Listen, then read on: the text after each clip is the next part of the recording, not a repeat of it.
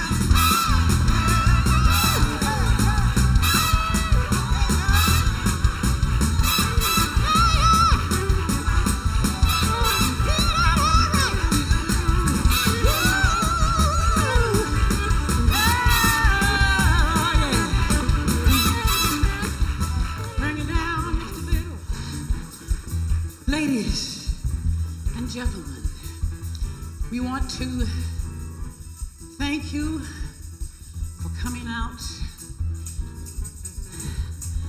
The president and the first lady for being so very gracious to us, so warm,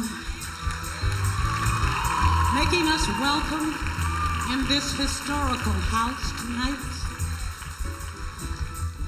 Yeah, always on the one, right? They're always on the one. How you do it. Oh, yeah. Mhm. Ladies and gentlemen, our Attorney General, Mr. Eric Holder, and Sharon Holder. I'm so glad to see him out of the hospital and back with us this evening.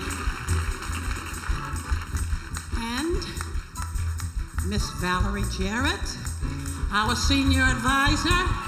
Miss Jarrett to my left. All right, good evening. And I would be so remiss to not acknowledge the presence of our former mayor of the city of Detroit, Mayor Dennis Archer and Judge Trudy Archer.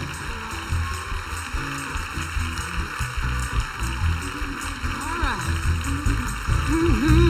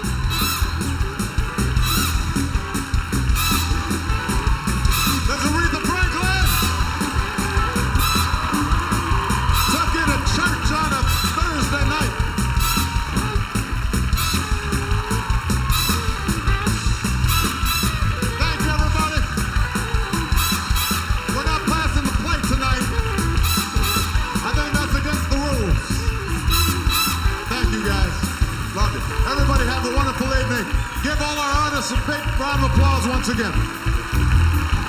Thank you.